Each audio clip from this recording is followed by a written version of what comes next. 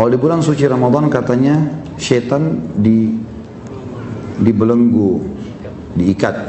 Tapi kenapa saya masih suka tergoda dan khilaf? Seperti batal puasa dan malas terawih. Karena antum masih temannya syaitan. Syaitan dibelenggu masih bisa tergoda. La haula wa la quwata illa. Ini sahib. Jangan tergoda. Lawan kan syaitan. Sekarang saja kita bisa lawan syaitan. Ya? Karena kan syaitan cuma bisikin ya. Itu perempuan, itu laki-laki, disuruh lihat. Kalau kita nolak, kan dia tidak menjelma depan mata kita dicekik. Kamu harus lihat. Apalagi Ramadan tambah lemah dia. Gitu. Mesti jangan, apalagi sampai batal puasa ini luar biasa. Jangan batal puasa dan sugestinya niatnya harus kuat. Biar tidak sahur tetap mampu untuk puasa gitu kan. Dan sekarang ini saya yakin syaitan lagi goda kita semua teman. Godaannya standar. Ramadan akan tiba, puasa sebulan, panas, capek, lemes, loyo, ah seribu bahasa. A'udzu billahi minasyaitonir rajim. Apa hukumnya bagi supir bus antar kota saat puasa dan sholat? Apakah mendapat keringanan hukum seperti musafir? Doakan supaya saya dimudahkan jodohnya. Kalau tanya tentang supir-supir saja. Harus selip jodoh ini. Kasihan betul bujang-bujang. Baiklah, mudah-mudahan menikah cepat. Oh, aminnya Masya Allah. Contoh kain sutra yang tidak boleh dipakai laki-laki. Karena sejujurnya saya tidak tahu kain sutra itu seperti apa. Tanya di pasar ya. Salah antum tanya kain. Gak ada contohnya. Datang ke toko kain tanya mana kain sutra. Nah itu baru. Karena saya nggak punya bahannya. Bukan begitu jawabannya. Pernah ada orang bertanya begitu kepada salaful ummah, ditanya, apakah iblis itu hamba Allah? Iya, jawaban dia. Apakah iblis tadinya beribadah? Iya. Apakah iblis memang durhaka setelah itu? Iya. Apa iblis punya keturunan? Kata beliau, iya. Dalilnya mana? Allah berfirman, jangan kalian ikuti iblis dan keturunan-keturunannya, gitu kan? Kemudian apakah iblis punya istri? Gitu. Kata beliau, iya. Siapa nama istrinya?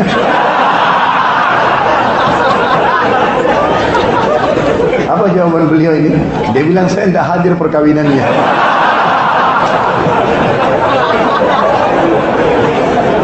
Sudah? Sama ini saya, saya juga nggak pegang kain sutra. Jadi datang ke tokonya, insya Allah kita tahu. Saya cuma jelaskan hukumnya. La haula wala Haruskah kita menundukkan pandangan apabila menonton TV atau membaca majalah? Kalau anak naik motor, anak menundukkan pandangan, anak takut nabrak Ustaz.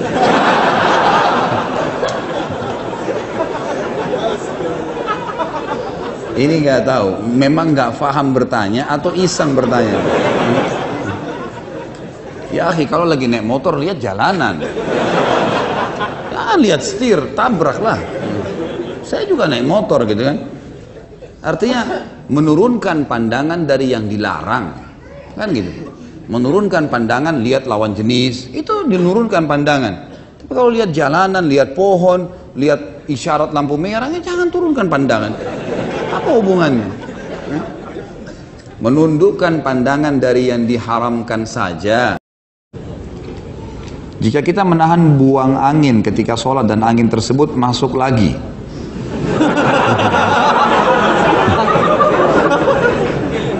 apakah sholat kita batal gitu? Sesuatu yang belum keluar dari tubuh kita masih dianggap bagian dari tubuh. Saya kasih contoh. Kan meminum darah haram ya, sudah kita bahas yang lalu kan? Tapi kalau gusi antum berdarah, kemudian ketelan, haram nggak? Kenapa tidak? Hah? Nah, sudah pintar. Karena belum keluar dari tubuh. Jadi kalau masih dalam mulut, ini masih dianggap bagian dari tubuh kita. Sama dengan angin tadi. Belum keluar, antum merasa kayak masuk kembali kan? nah itu berarti memang belum keluar. Berarti bagian dari tubuh, gitu kan? Saya seorang pelajar SMP, saya ulangan pada saat bulan puasa. Dan apakah nyontek membatalkan puasa? Kenapa harus nyontek? Saya tanya. Nyontek ini adalah penyakit al-malas. Malas.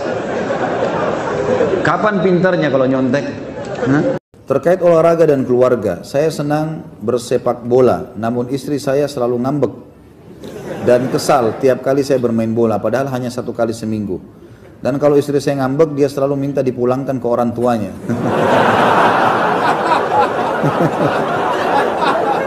Sebentar, ada lagi lanjutannya.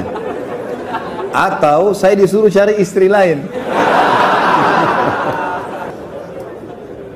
Bagaimana hukumnya tentang hal itu Ustaz? Mohon nasihatnya karena kebetulan istri saya juga hadir.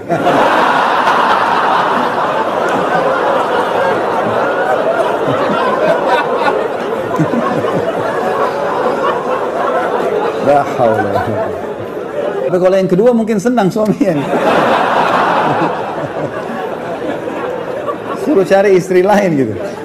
Kira-kira kalau tiba-tiba suaminya nikah lagi gimana nih?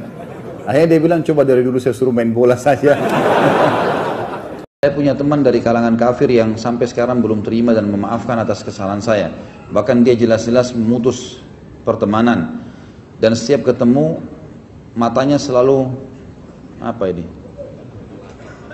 Nantangin untuk berkelahi. Apakah saya harus berkelahi? Karena saya emosi tiap ketemu dia. Nantangin terus dan kalau saya berkelahi apakah itu termasuk jihad?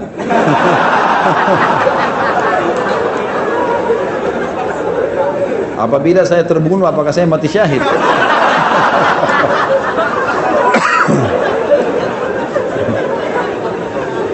Untung bertanya ini.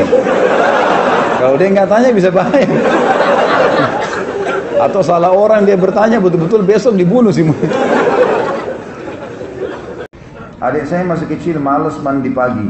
Saya ancam dengan video setan. Linsir wangi.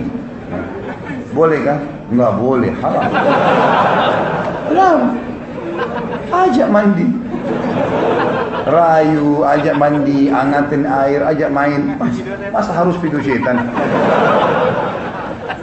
Jadi setiap mandi harus dilihat ini loh.